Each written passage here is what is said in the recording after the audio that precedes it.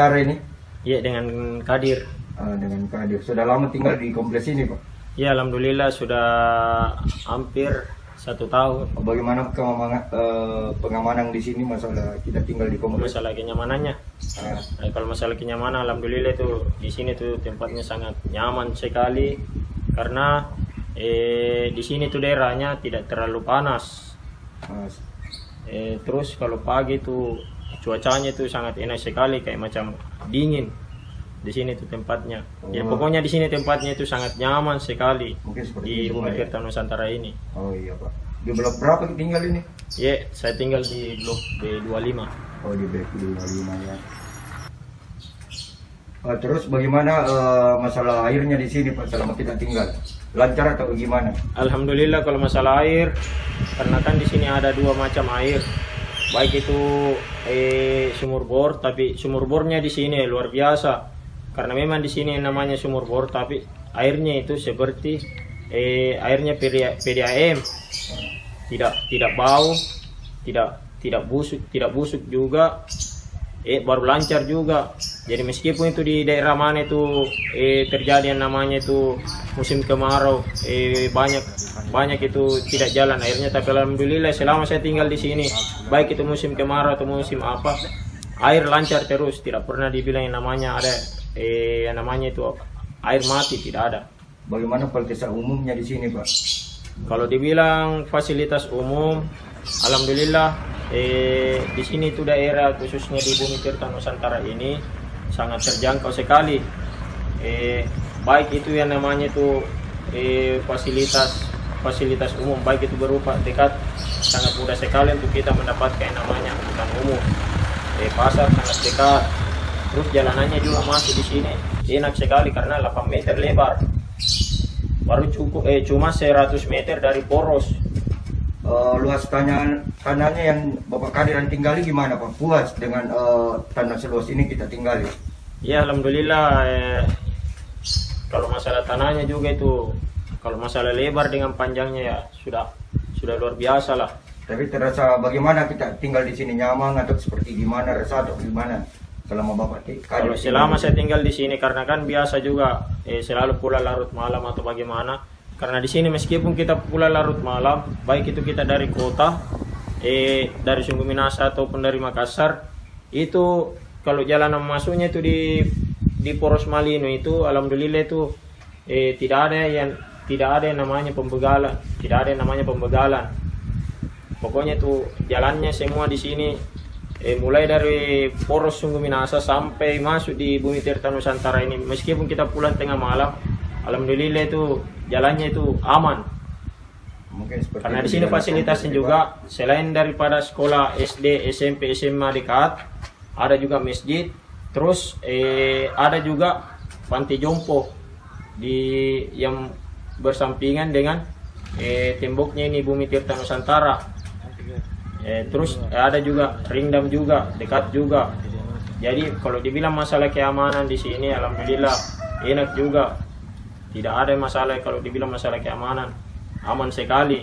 Terus kalau masalah dibilang itu masalah banjir juga, di sini tuh selama saya tinggal di sini baik itu hujan deras atau bagaimana, air itu tidak pernah tinggal karena kita lihat sendiri itu ada di belakang itu salurannya, saluran besar untuk langsung ke sungai. Jadi di sini tuh sangat strategis ini tempatnya ini. Sebenarnya ini tempat di sini strategis. Jadi bagaimana salah pengamanannya di sini? Ada yang orang berjalan atau seperti, seperti security atau seperti bagaimana?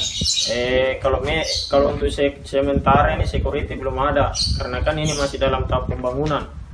Jadi mudah-mudahan ini kalau sudah rampung ini semua di sini, eh mudah-mudahan itu eh, bisa dikasih security karena posnya sudah sudah terbangun di depan. Kalau boleh tahu sudah berapa unit yang sudah terlaksana yang orang tinggal di sini? Eh kurang tahu juga itu. Kurang jelas ya. Iya, karena di sini kan eh, kita kan di sini sebagai warga dan masyarakat kan eh, tidak lebih mengetahui tinggal saja.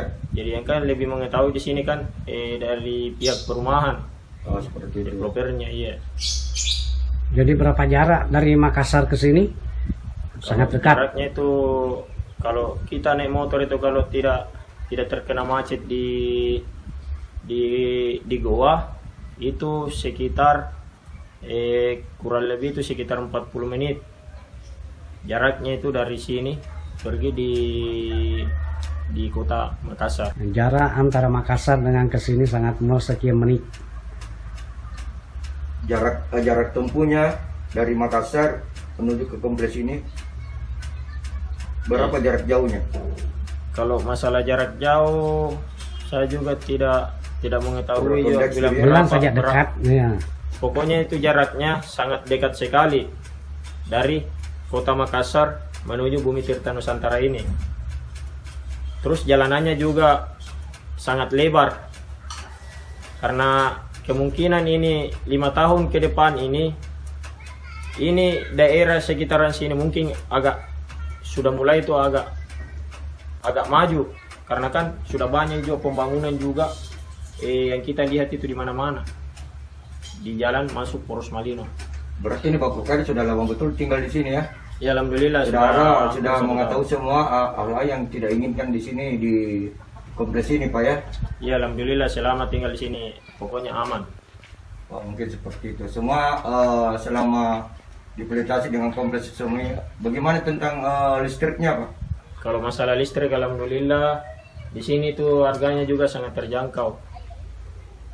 Eh sangat terjangkau sekali kita bayar tiap bulan ini listriknya di sini. Oh, seperti itu Pak Edi. Mungkin semua puas semua selama Bapak Kadir tinggal di sini nyaman dan uh, aman seperti itu mungkin Pak. Oh iya. iya. Mungkin uh, seperti itu wawancara kami uh, kunjungi Bapak Kadir di rumahnya uh, sendiri. Terima kasih banyak Pak ya. Iya iya.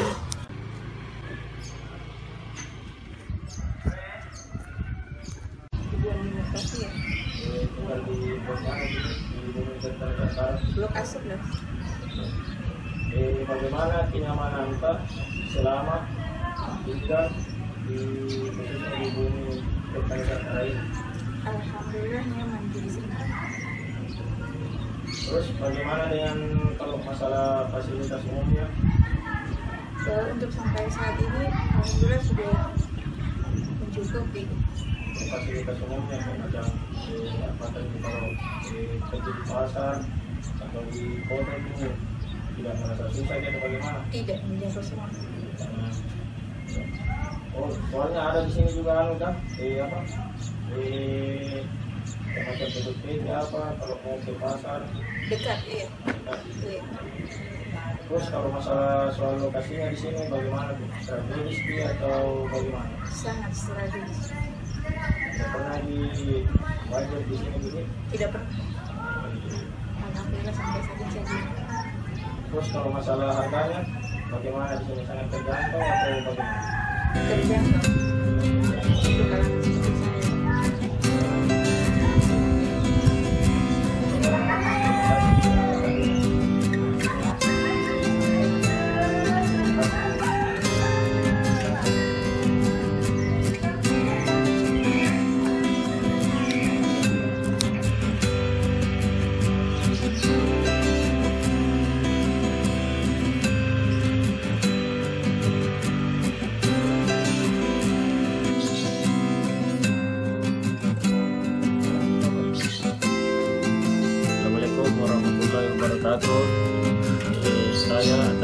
Kadir, salah satu warga yang berpenghuni di Bumi Tirta Nusantara ini. Kebetulan saya tinggal di blok B25. Kalau di sini saya mau ceritakan sedikit, sedikit di sini masalah situasi dan kenyamanannya seperti apa. Dan alhamdulillah saya sudah hampir satu tahun di sini dan selama saya tinggal di sini di Gunung Tirta Nusantara ini, alhamdulillah lokasinya di sini cukup aman, aman dan nyaman.